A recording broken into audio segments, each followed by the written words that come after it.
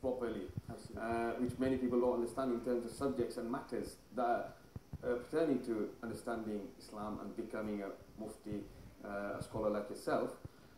So what, what made you change? And is there a, are they parallel? Or is there a mindset or a psyche within the Muslim community, an identity crisis with understanding these two? I think the impression that's given is that Islam is uh, sort, of, sort of backward or outdated or something which is should be should be left in the way it's practiced, uh, should be left in the books of history. But I think this is a misconception with respect to Islam, because Islam actually, when we look at sciences, for example, in, in Islam we don't divide them into secular and non-secular.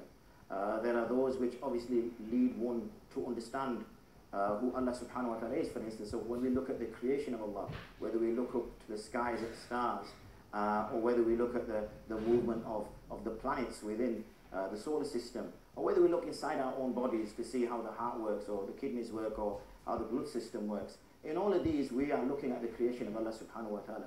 And when we're looking at the creation of Allah subhanahu wa ta'ala, what we're trying to do is, is we should admire the magnificent creation that He has. You know, we look at the eye the, the concept of the eye is, is, is baffling. You know, we, we buy camera phones nowadays with number of parts per million or, or whatever it is nowadays, how camera phones are decided in terms of pixels and whatever else that goes with it. But the eye is unique mm. in what it can achieve. So really, it's the, the, the science or the concept of recognizing Allah, whether it's chemistry, biology, physics, all these don't go contrary to, to Islam whatsoever. And in fact, when we speak of the golden era of the Islamic age of, of, of, of the Middle East in particular, in which the sciences which were preserved from the Greeks uh, beforehand, uh, and also from, from the Far East, as in China, the only way it reached into Europe was through, was through the Muslim Middle East.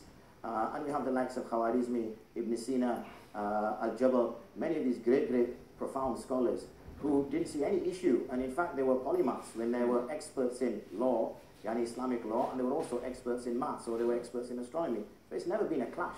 It's just over the last sort of few centuries in which you mentioned identity crisis, and we are at a stage as a Muslim community as a whole where we're trying to find ourselves now. Uh, and I think this is the, the, this is the understanding that both within the Muslim community, some of us are misunderstanding that religion is something uh, which is antithesis of science when it, when it absolutely isn't. The question